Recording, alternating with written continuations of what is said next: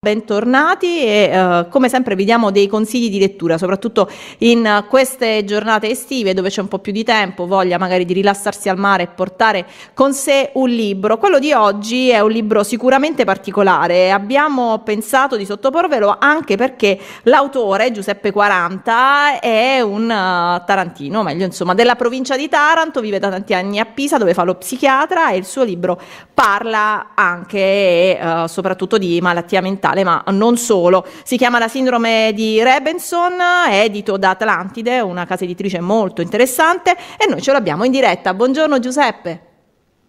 Buongiorno, buongiorno a voi.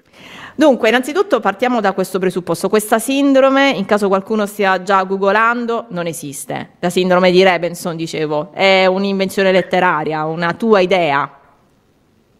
Certo, sì, è una sindrome del tutto inesistente, soltanto che io l'ho pensata come una sindrome possibile sì. eh, in maniera un po' provocatoria, perché il DSM, che è il manuale diagnostico delle malattie psichiatriche, nel corso degli anni si è andato a ingrandire sempre di più e molti si sono interrogati sulla reale esistenza di molte sindromi psichiatriche, quindi diciamo, l'invenzione della sindrome di Rebenson aveva anche questo intento un po' provocatorio per cercare di capire quanto, quanto alcune entità eh, diagnostiche siano reali e quanto in realtà siano frutto di un'invenzione un po' a tavolino.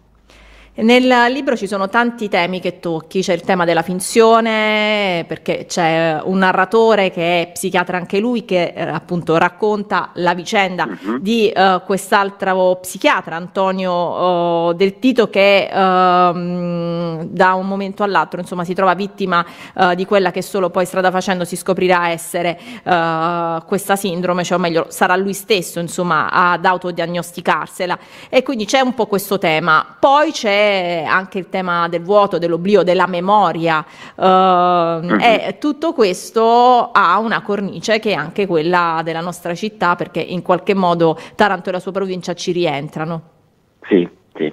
Eh, sì il, il, il, libro affronta diverse tematiche come, come hai detto, eh, eh, quella... Mh, mm, eh, quella dell'identità e della memoria sicuramente forse diciamo, il tema centrale Ehm, eh, il, il, personaggio principale che è Antonio Del Tito appunto inizia a presentare una serie di sintomi tra cui vi è quello di perdere la memoria e la perdita di memoria per noi esseri umani eh, si collega un po' al concetto no, della identità perché la memoria cos'è? Non è nient'altro che qualcosa che cementifica i nostri il nostro io no? e ci rende, ci rende eh, degli esseri umani specifici, quindi io sono un io perché c'è la mia memoria che collega pezzi del mio passato al mio presente. E quando questa incomincia a sgretolarsi è chiaro che viene messo in, in crisi tutto il concetto di identità. E il narratore eh, di questa storia si eh, interesserà appunto al caso di Antonio Del Tito perché Antonio Del Tito inizia a presentare questi problemi di memoria che pongono sempre più il problema di chi in realtà sia questo Antonio Del Tito eh, e l'approfondimento della, della, sua identità si avrà soltanto quando si va un po' all'origine della sua storia.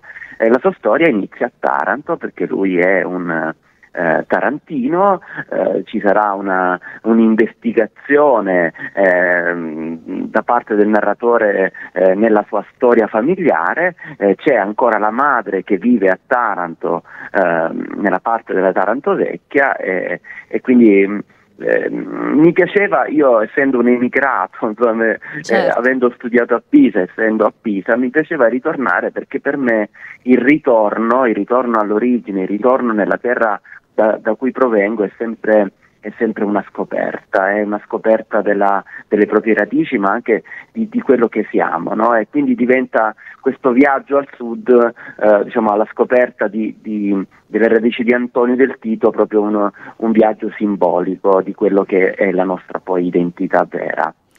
Giuseppe, abbiamo parlato di memoria. Noi in qualche modo negli ultimi anni la memoria l'abbiamo un po' delegata ai nostri dispositivi, penso, non so, a tutte le fotografie che ci scattiamo, eh, magari ricordi che uh, finiscono uh, negli smartphone e non restano nella nostra mente. La domanda è più allo psichiatra che allo scrittore. Questo avrà delle implicazioni da qui a un medio termine, secondo te?